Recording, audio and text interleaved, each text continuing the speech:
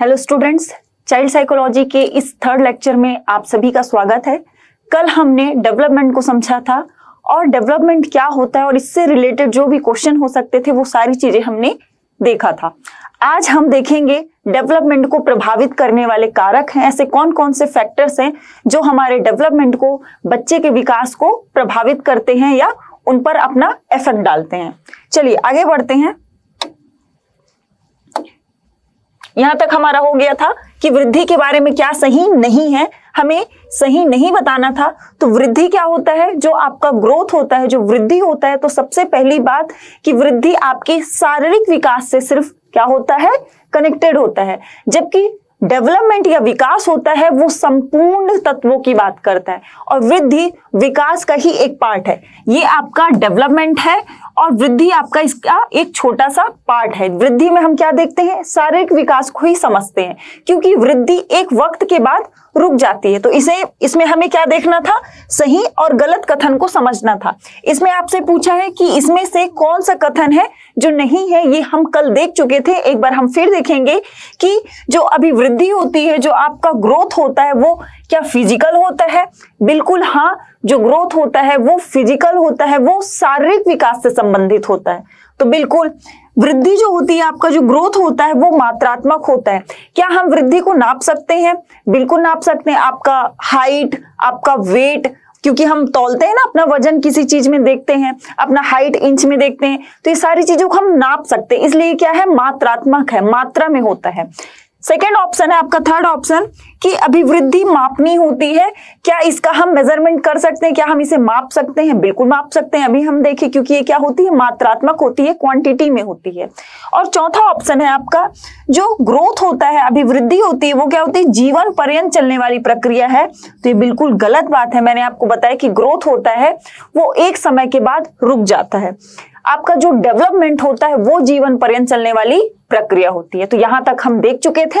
हम बढ़ते हैं आगे की ओर। चलिए, हम आज देखेंगे फैक्टर्स अफेक्टिंग डेवलपमेंट कौन कौन से कारक हैं कौन कौन से ऐसे फैक्टर्स हैं जो आपके डेवलपमेंट को अफेक्ट करते हैं?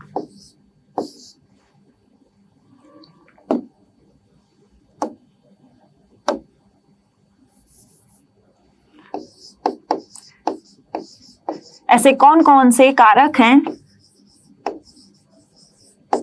जो हमारे डेवलपमेंट को क्या करते हैं? अफेक्ट करते हैं।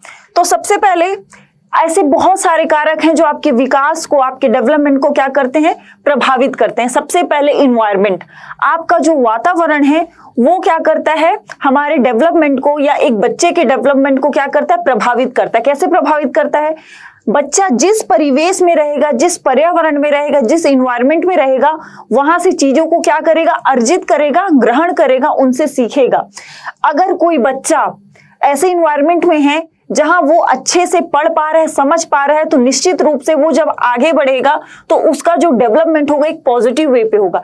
लेकिन उसी बच्चे को हम एक ऐसी इन्वायरमेंट में डाल देते हैं जहाँ पर वो चोरी देखता है, मारपीट देखता है और निगेटिव चीज़ों से घिरा होता है तो बच्चे पर इसका क्या करता है? निगेटिविटी दिखता है, उस पर निगेटिव इम्पैक्ट पड़ता है। तो ये क्या है हमारा? पहले हम समझेंगे कि क्या इफ़ेक्ट करता है सबसे पहला आपका इन्वायरमेंट इन्वायरमेंट इस पर अपना अफेक्ट डालता है। तो ये हो गया। चलिए आगे बढ़ते हैं। सबसे पहला पॉइंट हो गया इन्वायरमेंट देखिए एग्ज़ाम में पूछता है और जैसे ही हमारा एक टॉपिक कंप्लीट होगा, इससे जो भी क्वेश्चन बनेंगे, हम देखते जाएँगे। टॉपिक विथ क्वेश्चन करते जाएँगे, इससे आपको जो कॉन्सेप्ट होगा, वो क्लियर होते जाएगा। तो सबसे पहला इफ़ेक्ट किस पे पड़ता है आपके? इन्वायरमेंट का रोल होता है। चलिए, आगे बढ़ते हैं। दूसरा आपका अनुवांशिकता देखिए अनुवांशिकता कैसे इफ़ेक्ट कट करता है? हम क्या होते हैं? माता पिता पर जाते हैं ना? हमारा जो गुण होता है, अनुवांशिकता का गुण माता पिता पर हम जाते हैं। कभी कभी क्या होता है, जो माता पिता से जो बीमारियाँ होती हैं, वो भी बच्चों में देखने को मिलता है, जिसके कारण विकास जो होता है, उससे प्रभावित होता है। कभी कभी हमें खून की कमी जो बच्चों में देखने को मिलती है, वो पेरेंट्स से भी चलकर आती है। बहुत सारी ऐसी बीमारी है, जो माता पिता से बच्चों में क्या होता है ट्रांसफ़र होता है। तो इसमें अनुवांशिकता का रोल होता है। बच्चे के विकास में अनुवांशिकता का एक क्या होता है, बहुत बड़ा इम्पैक्ट होता है। रोल होता है। तो ये हो गया हमारा, सबसे पहले हमने देखा एनवायरमेंट का, कि बच्चा जिस परिवेश में रहेगा, जिस वातावरण में रहेगा, वहाँ से वो चीज़ों को सीखेगा। दूसरा आपका अनुवांशिकता। इसके अलावा आपके लिए एक एडिशनल इंफॉर्मेशन भी है, जो आपके और आपके दोस्तों के लिए इम्पोर्टेंट भी हो सकता है। क्योंकि आप सभी जानते हैं, आप सभी को विदित है, कि हमारा हॉस्टल वार्डन का एग्ज़ाम कभी भी कंडक्ट कराया जा सकता है।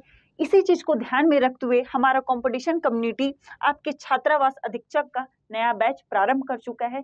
ये नया बैच आपको गांधी चौक और मंगला चौक दोनों में ही मिलेगी। साथ ही ऑनलाइन ऑफलाइन दोनों ही मोड में आप ये कक्षाएँ देख सकते हैं।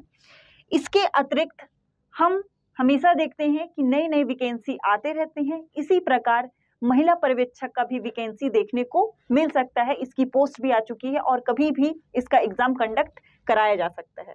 तो एग्ज़ाम को बेहतरीन और सुनिश्चित करने के लिए महिला पर्यवेक्षक का भी आप बैच ज्वाइन कर सकते हैं, जो 27 जून से स्टार्ट हो चुका है। ये आपको गांधी चौक और मंगला चौक में भी मिलेगा। साथ ही जैसा कि मैंने बताया आपको, ये जो इसका मोड होगा, वो ऑनलाइन ऑफलाइन दोनों मोड में होगा। आप दोनों में ही इसको पढ़ सकते हैं। और चीज़ है हमारा टेस्ट सीरीज़ भी प्रारंभ हो चुका है। आप पहले इधर ध्यान दीजिएगा, जो हमारा टेस्ट सीरीज़ है, वो स्टार्ट हो चुका है ऑनलाइन, ऑफलाइन दोनों ही मोड में हो चुका है, जिसकी फ़ीस बहुत ही कम रखी गई है। मात्र दो सौ रुपये में आप हॉस्टल वार्डन का कंप्लीट टेस्ट सीरीज़ कर सकते हैं और ऑफलाइन में आप मात्र चार सौ रुपए में पूरा कंप्लीट टेस्ट सीरीज़ ज्वाइन कर सकते हैं। चलिए, देखते चलेंगे, क्योंकि इससे आपके क्वेश्चन बनेंगे। दूसरा है आपका पोषक तत्व। आपका तीसरा पॉइंट क्या है? पोषक तत्व। पहले क्या प्रभावित करता है? पहला हमने इन्वायरमेंट देखा। ये मुख्य कारक है जो हमारे विकास को क्या करते हैं? प्रभावित करते हैं। उसके बाद हमने देखा अनुवांशिकता। और तीसरा है आपका पोषक तत्व। पोषक तत्व कैसे करते हैं? देखिए, जितने भी डेवलपमेंट है, जितने भी विकास है, वो विकास जो है कहीं ना कहीं आपके सबसे जो मेन जो कड़ी है, वो क्या है आपका? शारीरिक विकास है। अब शारीरिक विकास ऐसे समझेंगे कि देखिए, मान लीजिए ये एक छोटा बच्चा है, हम इस बच्चे का एग्ज़ाम्पल ले रहे हैं। अगर इसे ठीक प्रकार से क्या नहीं दिया जाएगा? पोषक तत्व तो नहीं दिया जाएगा। पोषक तत्व तो मीन्स ऐसा भोजन न दिया जाएगा जिसमें प्रोटीन कार्बोहाइड्रेट विटामिन वसा, इन सब चीज़ों की क्या होगी? कमी होगी तो उसके कारण क्या होगा? इसका शारीरिक विकास रुक जाएगा। और शारीर शारीरिक विकास अच्छे से नहीं होगा तो इसका मानसिक विकास भी अच्छे से नहीं होगा। जब मानसिक विकास नहीं होगा तो ये किसी भी चीज़ों पे क्या नहीं कर पाएगा? विचार विमर्श नहीं कर पाएगा, तर्क नहीं लगा पाएगा, चीज़ों के बारे में सोच नहीं पाएगा, और ये सारी चीज़ें आपसे कहीं ना कहीं किससे कनेक्टेड है? आपके सामाजिक विकास से, आर्थिक विकास से, संवेगात्मक विकास से, संज्ञानात्मक विकास से। तो ये सारी चीज़ें है ना, इससे इफ़ेक्ट होती हैं। तो एक बात किया जाए विकास का तो हमारा जो विकास अगर मेन है तो इसमें जो मेन सेंटर में होता है, वो आपका क्या होता है? फ़िज़िकल डेवलपमेंट होता है, आपका शारीरिक विकास होता है, क्योंकि शारीरिक विकास से अन्य जो विकास होते हैं, वो कनेक्टेड होते हैं। तो शारीरिक विकास के लिए पोषक तत्वों का होना अनिवार्य है। जितना अच्छा आप बच्चों को भोजन देंगे, जितना संतुलित आहार देंगे, उतना ही अच्छा बच्चों में क्या होगा? शारीरिक विकास होगा। और निश्चित सी बात है कि शारीरिक विकास अच्छा होगा तो बाकी सारे फैक्टर्स भी होंगे अच्छे। पॉजिटिव वे पे क्या होंगे? अफेक्ट होंगे। तो ये था हमारा तीसरा फैक्टर ठीक? तो हमें बच्चों के विकास हेतु तो जो सबसे महत्वपूर्ण कारक है वो उनके पोषक तत्वों का है। पोषक तत्वों का अच्छा होना अनिवार्य है, क्योंकि आपका इन्वायरमेंट तो बिल्कुल बच्चों में जो नैतिकता का विकास होता है, बच्चों में जो संज्ञानात्मक विकास होता है, उसमें इन्वायरमेंट का तो इंपॉर्टेंट रोल होता है। बच्चों में अनुवांशिकता का बहुत ज़्यादा इंपॉर्टेंट रोल तो होता ही है। लेकिन कैसे, बच्चा आगे कैसे बढ़ेगा, उसका ग्रोथ कैसे होगा, वो सब किस पे डिपेंड करता है आपके? आपके पोषक तत्व पर निर्भर करता है। तो ये बहुत इंपॉर्टेंट है। हमने तीन फैक्टर्स देखे, आगे बढ़ते हैं। चलिए। देखिए, जैसे एक टॉपिक हुआ क्वेश्चन आ गया। मानव विकास किन दोनों के योगदान का परिणाम है? बिल्कुल, बताइए। होता क्या है कि जो मानव का विकास होता है ना, उसमें अनुवांशिकता और पर्यावरण का बहुत ज़्यादा इंपॉर्टेंट रोल होता है। अगर बच्चा, बच्चों में अनुवांशिकता का गुण देखा जा रहा है तो उसके आसपास का जो वातावरण है, वो भी क्या होता है? बहुत इंपॉर्टेंट होता है। तो क्वेश्चन आपसे पूछ रहा है कि मानव विकास किन दोनों के योगदान का परिणाम है। सबसे पहले अभिभावक व अध्यापक, क्या इन दोनों के मिलने से बच्चे का डेवलपमेंट अच्छा होगा? बिल्कुल नहीं। तो ये तो गलत हो जाएगा। सामाजिक एवं सांस्कृतिक कारकों का, बिल्कुल ये सही बात है, सामाजिक और सांस्कृतिक कारकों का होता है, लेकिन ये सारे फैक्टर्स बाद में आते हैं। स्टार्टिंग में जो इंपॉर्टेंट फैक्टर होता है, वो क्या होता है आपका? वंश क्रम या अनुवांशिकता वंश क्रम अनुवांशिकता एक ही है वंश क्रम एवं वातावरण का, ये बहुत इंपॉर्टेंट होता है। इनमें से कोई नहीं तो गलत हो गया। तो आपका ऑप्शन क्या बचा? ऑप्शन सी तो आंसर आपका क्या होगा? सी इसमें अनुवांशिकता एवं वातावरण का इंपॉर्टेंट रोल होता है।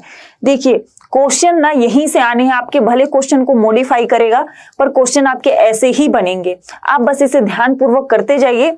आपका टेन में टेन आने से कोई नहीं रोक सकता, क्योंकि आपका जो चाइल्ड साइकोलॉजी है ना, वो अंडरस्टैंडिंग वाला सब्जेक्ट है। अब जितना ज़्यादा इसको समझेंगे, जितना ज़्यादा आप रियल लाइफ में इसे फील करेंगे, आपको कॉन्सेप्ट क्या होगा? क्लियर होगा। चलिए आगे बढ़ते हैं। फीचर्स ऑफ़ डेवलपमेंट वही बात कर रहे हैं।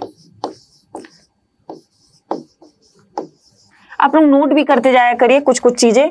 हर चीज़ आपको इसमें नहीं मिलेगी।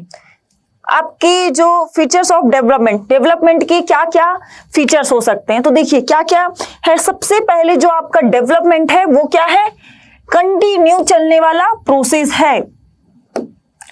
क्या है आपका डेवलपमेंट कंटिन्यू प्रोसेस है। फ़र्स्ट ये बहुत इंपॉर्टेंट है। क्वेश्चन आपके बनेंगे, यहीं से बनते हैं। तो मैंने आपको स्टार्टिंग में ही बताया था कि जो विकास होता है, जो डेवलपमेंट होता है, वो सतत चलने वाली प्रक्रिया है। कैसी प्रक्रिया है आपका? सतत चलने वाली प्रक्रिया। सतत प्रक्रिया मीन्स क्या होता है? कंटिन्यू चलने वाली या बिना रुके। सतत का मतलब होता है बिना रुके। जब तक आप मृत्यु को प्राप्त नहीं कर लेते, तब तक विकास आपका होता रहेगा। ये विकास का सबसे बड़ा क्या है? क्वालिटी है। तो सबसे पहली बात क्या हो गई? कंटिन्यू प्रोसेस ये कंटिन्यू चलने वाली प्रक्रिया है। कैसे देखिए, अब विकास कहाँ से प्रारंभ होता है? माता के गर्भ से प्रारंभ होता है। ये बच्चा क्या है? माता के गर्भ में है। अब यहाँ से बच्चे का डेवलपमेंट शुरू होता है और जैसे जैसे बढ़ता है बच्चा तो एक अवस्था ऐसी आती है जिसे हम क्या कहते हैं? वृद्धावस्था कहते हैं।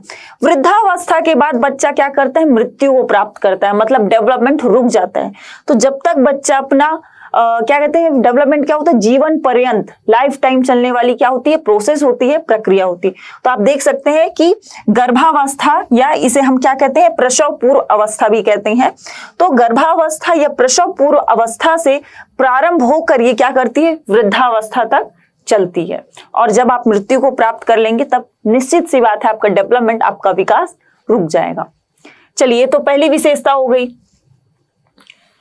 हाँ और दूसरी चीज़ इमेज के द्वारा समझने का प्रयास करेंगे। डेवलपमेंट सिर्फ़ और भी चीज़ों, ये कैसे कंटिन्यू चलता है ये? तो देखेंगे आप आप बच्चों में क्या देखते हैं? ये सारे गुण देखते हैं, बच्चे आपस में मित्रता का भाव रखते हैं, दया का भाव रखते हैं, एक दूसरे से जुड़े होते हैं। उनमें नैतिकता का, दया का भाव देखा जाता है। ये सब क्या है? आपकी डेवलपमेंट है। ये आपके अलग अलग कारक को दर्शा रहा है, ये आपके नैतिक विकास को दर्शा रहा है, ये सारी चीज़ें आपके, ये आपका क्या है, सामाजिक विकास को दर्शा रहा है। इसके अलावा बच्चों में जो संवेग देखा जाता है, बच्चा गुस्सा करता है, रोता है, चिल्लाता है, दुखी होता है तो ये सारी चीज़ें क्या आपके संवेग को दर्शा रहा है। इसके अलावा बच्चों में आर्थिक विकास भी देखा जाता है, साथ ही बच्चों में क्या देखा जा रहा है इन्वायरमेंट इन्वायरमेंट के प्रति बच्चा कैसे एक्टिव है? तो ये जितने भी आपके लाइफ में जितनी भी चीज़ें हो रही हैं, वो कहीं ना कहीं किससे कनेक्टेड है आपके? विकास से कनेक्टेड है। आप इस उम्र में भी जितनी चीज़ें सीख रहे हैं, उसमें आपका क्या हो रहा है? विकास हो रहा है। तो ये सारे क्या है आपके? विकास के फीचर्स हैं। आप ये देख सकते हैं। इसके अलावा शादी, ब्याह, समाज से बच्चा जुड़ता है, एक उम्र आता है जब बच्चा क्या होता है? ऐसे इंसान से जुड़ता है जिसके साथ उसे ज़िंदगी भर क्या होता है? साथ रहना होता है। तो वो कहीं ना कहीं समाज से कनेक्ट हो रहा है और उसकी खुद की एक फैमिली बनती है।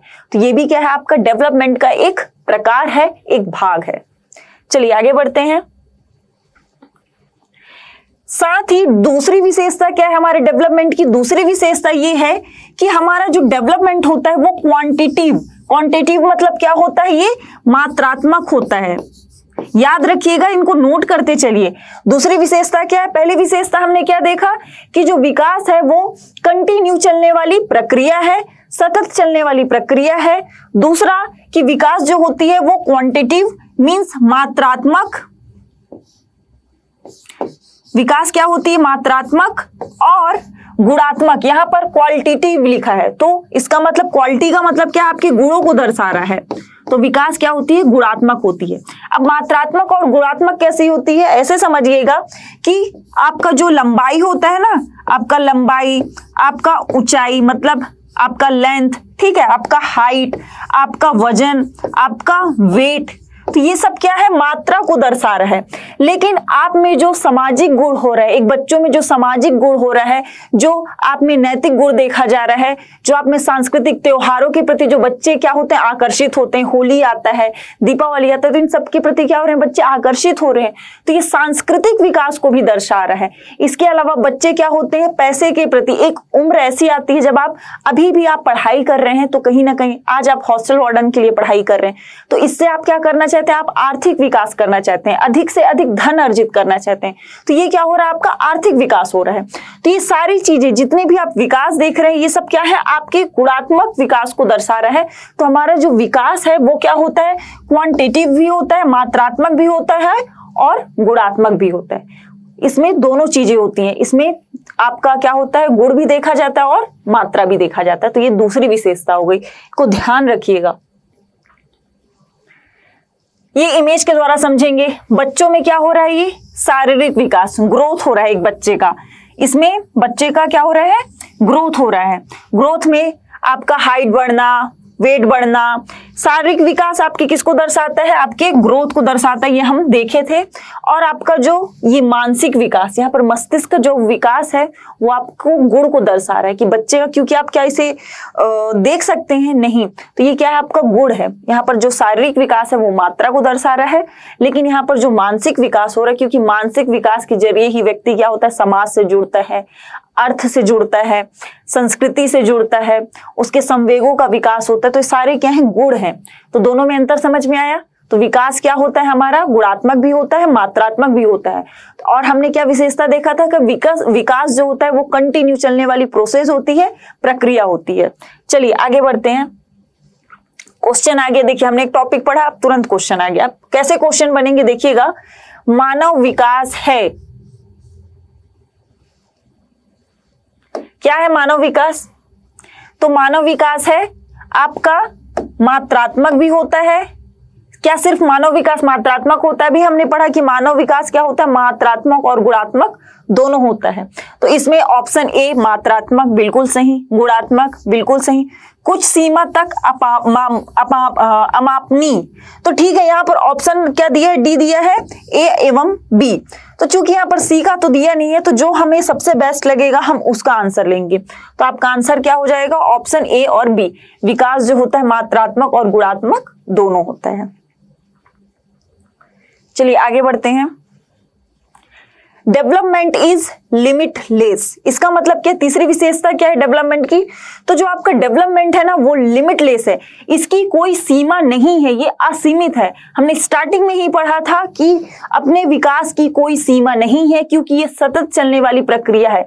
वृद्धि जो होता है, एक सीमा के बाद रुक जाता है। लेकिन जो विकास होता है, वो कभी नहीं रुकता। कब तक नहीं रुकेगा जब तक आप मृत्यु को प्राप्त नहीं कर लेते? तो ये क्या होता है? लिमिटलेस होता है। तो इस चीज़ को ध्यान रखिएगा। तीसरी विशेषता हो गई कि जो विकास होता है वो लिमिटलेस होता है। अमापनी असीमित होता है। इस चीज़ को ध्यान रखिएगा।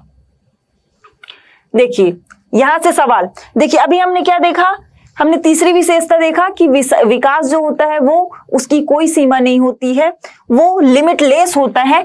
तो इस लिमिटलेस से क्या क्वेश्चन बनेगा? देखिए, ये निरंतर चलने वाली प्रक्रिया है, तभी तो इसको लिमिटलेस प्रोसेस कहते हैं, आपका डेवलपमेंट को। चलिए, आगे बढ़ते हैं।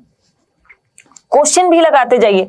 हमारा उद्देश्य ही है, जैसे हम टॉपिक को पढ़े, उस टॉपिक से हमारे क्वेश्चन कैसे, आपके एग्ज़ाम में क्वेश्चन ऐसे ही बनेंगे, बस हल्का फुल्का मॉडिफाई होगा, बाकी एग्जैक्टली आपको क्वेश्चन ऐसे ही मिलेंगे। इसके अलावा आपको कुछ भी बुक या ऐसे अदर चीज़ें देखने की ज़रूरत नहीं है, क्योंकि हॉस्टल वार्डन में आपके बेसिक क्वेश्चन आएँगे। चलिए, विकास कभी ना समाप्त होने वाली प्रक्रिया है, यह विचार किससे संबंधित है? अंत संबंध का सिद्धांत। देखिए अंत संबंध का सिद्धांत का तो अभी हमने कोई बात ही नहीं किया है, क्योंकि विकास कभी ना समाप्त होने वाली प्रक्रिया इसका मतलब क्या है कि विकास कंटिन्यू चलने वाली प्रोसेस है, सतत चलने वाली प्रक्रिया है। तो यहाँ पर अंत संबंध की बात कैसे आ सकता है? नहीं आ सकता। इसलिए क्या हो जाएगा? गलत हो जाएगा। दूसरा ऑप्शन है निरंतरता का सिद्धांत प्रिंसिपल ऑफ़ कंटिन्यूटी इसका मतलब क्या निरंतर मतलब कंटिन्यू चलने वाला। तो बिल्कुल विकास जो हमारा क्या है, वो कंटिन्यू चलने वाला प्रोसेस है। तो ऑप्शन नंबर बी क्या हो जाएगा? सही हो जाएगा। तब भी से हम तुरंत टिक नहीं लगाएँगे क्योंकि हमारे समय मिला है तो हम बाकी ऑप्शन को भी देखेंगे। एकीकरण का सिद्धांत बिल्कुल नहीं, अभी इसकी बात ही नहीं हुई। अंत क्रिया का सिद्धांत गलत। तो हमारा आंसर क्या हो जाएगा? बी हो जाएगा। चलिए, आगे बढ़ते हैं। ये इंपॉर्टेंट टॉपिक है आपका। सेफ्लोकॉर्डल डेवलपमेंट इसमें क्या होता है? जो डेवलपमेंट जो होता है, वो सिर से विकास की ओर होता है। इसे हम क्या कहते हैं?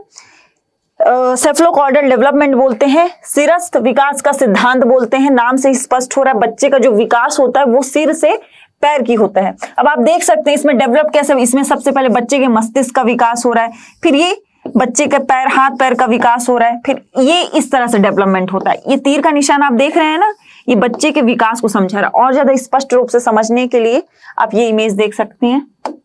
आप देख सकते हैं कि एक बच्चे का विकास, ये सिरस्थ विकास के सिद्धांत को ही समझा रहा है कि बच्चे का विकास सिर से पैर की ओर होता है। तो इसको याद रखिएगा, सवाल आते हैं कि इसका अर्थ क्या है? तो याद रखिएगा सेफ्लोकॉर्डल का मतलब होता है बच्चे का विकास सिर से पैर की ओर होता है। चलिए आगे बढ़ते हैं।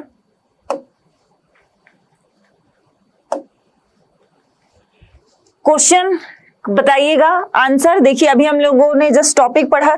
ये सब ना आपके पूछे हुए क्वेश्चन है इंपॉर्टेंट है। आपके टॉपिक से ऐसे ही सवाल बनेंगे। विकास का सेफ्लोकॉडल सिद्धांत या सेफ्लोकैडल सिद्धांत बताता है कि विकास कैसे आगे बढ़ता है। क्या विकास सिर से पैर की ओर आगे बढ़ता है? क्या ग्रामीण से शहरी की ओर नहीं? ग्रामीण से शहरी की ओर तो बात ही नहीं हुई है। यहाँ बच्चों के शारीरिक विकास की बात हो रही है। विशिष्ट कार्यों के लिए सामान्य नहीं, एकीकृत कार्यों के लिए विभेदित नहीं। तो क्या होगा आंसर आपका? अभी हमने जस्ट पढ़ा है कि विकास जो होता है वो सिर से पैर की ओर होता है। हमने इमेज के द्वारा भी इसे समझा है। तो विकास क्या होता है हमेशा? सिर से पैर की ओर होता है। चलिए अगली जो क्वालिटी है डेवलपमेंट की वो क्या है? कि development proceeds from general to specific याद रखिएगा, विकास हमेशा सामान्य से विशिष्ट की ओर होता है। पहले आप समान प्रक्रियाओं से गुजरते हैं। आप किसी भी चीज़ को देखेंगे ना तो सबसे पहले उसका जनरल इंफॉर्मेशन लेते हैं। फिर उसके डीप में जाते हैं, उसका स्पेसिफिक चीज़ें देखते हैं। तो सब विकास भी ऐसे ही होता है। सबसे पहले आपका क्या होगा? जनरल होगा। उसके बाद आप स्पेसिफिक होगा। तो याद रखिएगा, विकास जो होता है हमेशा सामान्य से जनरल टू स्पेसिफिक का मतलब क्या है? सामान्य से विशिष्ट की ओर होगा। विशिष्ट की ओर होगा। विकास हमेशा सामान्य से विशिष्ट की ओर होगा, यहाँ से सवाल आता है, बच्चे का सबसे पहले क्या होता है? सिर का विकास होता है, फिर धीरे धीरे बाकी अंगों का विकास होता है। तो सामान्य से स्टार्ट हो रहा है ना, हम क्या होते, कोई भी काम हो, जैसे मान लीजिए आप यहाँ पर डिजिटल बोर्ड ही देख रहे हैं तो सबसे पहले इसका आप सामान्य सेप देखते हैं, फिर इसकी विशिष्टता की ओर जाते हैं कि अच्छा ये डिजिटल बोर्ड बना किसका है, इसका उपयोग क्या है, इसके अंदर क्या क्या फीचर्स है तो आप क्या करें, विशेष की ओर जा रहे हैं। तो विशिष्टता को देख रहे हैं। तो वैसे ही हमारा डेवलपमेंट होता है। डेवलपमेंट क्या होता है? सामान्य से विशेष की ओर होता है। जनरल टू स्पेसिफिक होता है। याद रखिएगा, क्योंकि फिर इससे अभी सवाल बनेगा। देखिए देखिए, तुरंत सवाल बनाना तो ऐसे ही हमें टॉपिक देखना है, तुरंत क्वेश्चन लगाना है। निम्न में से कौन सा कथन विकास के बारे में सत्य नहीं है? हमें नहीं है बताना है। विकास अंत क्रिया का फल है, बिल्कुल। जो हम, जो बच्चे होते हैं, जो ह्यूमन होते हैं, वो कहीं ना कहीं एक दूसरे से कैसे होते हैं? कनेक्टेड होते हैं। अब कैसे कनेक्टेड होते हैं? हम देखिए, पौधों पर निर्भर है, भोजन के लिए निर्भर है, हम जल पर निर्भर है, हम मिट्टी पर निर्भर है, हम सूर्य के प्रकाश पर निर्भर है। हमारे सृष्टि में, हमारी पृथ्वी में जितनी भी चीज़ें हम उन पर क्या है? एक दूसरे से अंतर क्रिया कर रहे हैं, सामंजस्य स्थापित कर रहे हैं। तो इससे क्या हो रहा है? विकास इफ़ेक्ट होता है, बिल्कुल। तो ये क्या बोल रहे हैं कि विकास अंत क्रिया का फल है, बिल्कुल अंत क्रिया का फल है। हम, हमारे शरीर का जो विकास हो रहा है, वो भोजन से हो रहा है। और भोजन हमसे किससे मिलता है? हमें पौधों से मिलता है। और जो पौधा है, वो क्या है? हमारे वातावरण का ही एक हिस्सा है, एक प्रकार है। तो विकास पौधों और हम में क्या हो रहा है? अंत क्रिया हो रहा है। हम लोग आपस में जुड़े हुए हैं कनेक्टेड है। तो ये बिल्कुल सही होगा। विकास एक व्यवस्थित श्रृंखला का अनुगामी है। बिल्कुल जो आपका विकास होता है, आप आगे देखेंगे कि एक व्यवस्थित ढंग से आगे बढ़ता है, एक क्रम से आगे बढ़ता है। तो ये सही है। विकास एक व्यक्तिगत प्रक्रिया बिल्कुल हर व्यक्ति का अलग अलग डेवलपमेंट होता है, उसके विकास का जो दर होता है, वो भिन्न भिन्न होता है। तो ये भी बिल्कुल सही बात है कि विकास का क्या है? एक व्यक्तिगत प्रक्रिया है। विकास विशिष्ट से सामान्य की ओर होता है। तो ये बिल्कुल गलत बात है। अभी हमने देखा था कि विकास जो होता है, वो सामान्य से क्या होता है आपका? विशिष्ट की ओर होता है। सामान्य से विशिष्ट की ओर। ठीक। विकास क्या होता है हमेशा सामान्य से विशिष्ट की ओर होता है? जस्ट हमने देखा है तो आंसर क्या हो जाएगा आपका? आंसर डी हो जाएगा, क्योंकि इन्होंने पूछा है कि सत्य नहीं है तो ये गलत हो जाएगा। देखिए कैसे एकदम बारीकी से हम क्या होते हैं, जल्दी जल्दी में टिक लगाते हैं। हाँ विकास विशिष्ट से सामान्य की ओर होता है, सामान्य से विशिष्ट। याद रखिएगा, विकास हमेशा सामान्य से विशिष्ट की ओर होता है। यहाँ पर एकदम बारीकी से पूछ दिया, विशिष्ट से सामान्य की ओर। अभी आप लोगों को लग रहा होगा एकदम ईजी लेकिन एग्ज़ाम में थोड़ा सा डाउट होता है इन सबको देखते चलिएगा। चलिए, छठवा जो है, वो क्या है? कि डेवलपमेंट प्रोसेस बाय मतलब वो सीक्वेंस को बता रहा है कि जो आपका डेवलपमेंट होता है, वो एक सीक्वेंस में चलता है। एक बच्चों का डेवलपमेंट बता रहा है। तो एक बच्चे का डेवलपमेंट कैसे होगा? एक क्रम में चलेगा। सबसे पहले बच्चा क्या होता है? माता के गर्भ में होता है। ठीक है? अब माता के गर्भ से जब वो बच्चा क्या हुआ? बाहर आया तो वो क्या होता है? शिशु अवस्था में होता है। माता के गर्भ में बच्चा कितने दिन तक होता है? 280 दिन तक होता है। उसके बाद बच्चा शिशु होता है। माता के गर्भ से बाहर आता है। तो ये क्या है? इसकी जन्म की अवस्था है। फिर बच्चा क्या होता है? शिशु अवस्था से अपने बाल्यावस्था में पहुँचता है। फिर बच्चा थोड़ा सा क्या होता है? बड़ा होता है। इस एज में आ जाता है बच्चा। फिर बच्चा किशोरावस्था में आता है। फिर एक बच्चा युवा अवस्था में आता है। फिर बच्चा क्या होता है? आपके प्रौणावस्था में आता है, फिर थोड़ा सा और बूढ़ा होता है, फिर ये बहुत ज़्यादा एजेड हो जाता है। तो क्या हो रही है? विकास एक क्रम में चल रही है, एक निश्चित क्रम में आगे बढ़ रही है। तो याद रखिएगा, विकास जो होता है, हमेशा एक सीक्वेंस में चलता है। देखिए, परिपक्वता का संबंध है, बिल्कुल। आप परिपक्व कब हो गए जब आपका डेवलपमेंट होगा, जब आपका विकास होगा। तो आंसर क्या होगा? विकास। ऑप्शन नंबर ए चलिए, आगे बढ़ते हैं।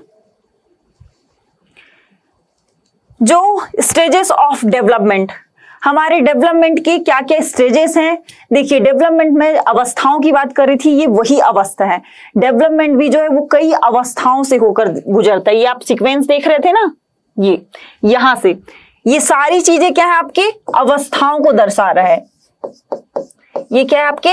अवस्थाओं को दर्शा रहा है। तो ये अवस्था है सबसे पहले बच्चा क्या होता है? माता के गर्भ में होता है, इसलिए इसे गर्भावस्था कहते हैं। फिर बच्चा माँ के गर्भ से बाहर आता है तो हम इसे शिशु अवस्था कहते हैं। फिर बच्चा थोड़ा सा बड़ा होता है, उसे हम बाल्यावस्था कहते हैं। बाल्यावस्था भी दो प्रकार के होते हैं, जिसे हम पहला बोलते हैं पूर्व बाल्यावस्था और दूसरा है उत्तर बाल्यावस्था। फिर जब बच्चा बड़ा होता है तो वो किसमें आता है? ये आपका क्या हो गया? उत्तर बाल्यावस्था।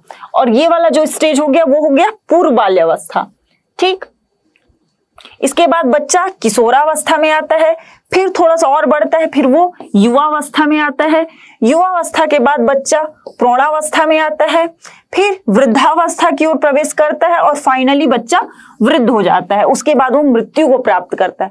तो जो विकास है, वो क्या है? इतनी सारी अवस्थाओं से होकर गुजर रहा है। ये क्या है? बच्चे का एक सिक्वेंस को दर्शा रहा है, अवस्थाओं को दर्शा रहा है। तो ये हम देखेंगे आगे की कक्षा में कि जो हमारा डेवलपमेंट होता है, उसके कौन कौन से स्टेजेस होते हैं। तो हम मिलते हैं डेवलपमेंट के स्टेजेस के साथ। आज के लिए इतना ही। थैंक यू अगर आप चाहते हैं अपने कैरियर को एक नई दिशा देना और सुनहरे भविष्य को साकार करना तो जुड़िए कंपटीशन कम्युनिटी के साथ। आज ही हमारे वेबसाइट के कैरियर पेज पर विज़िट करें अथवा डिस्क्रिप्शन बॉक्स पर दिए गए लिंक पर क्लिक करें। हमेशा आपके साथ टीम कोको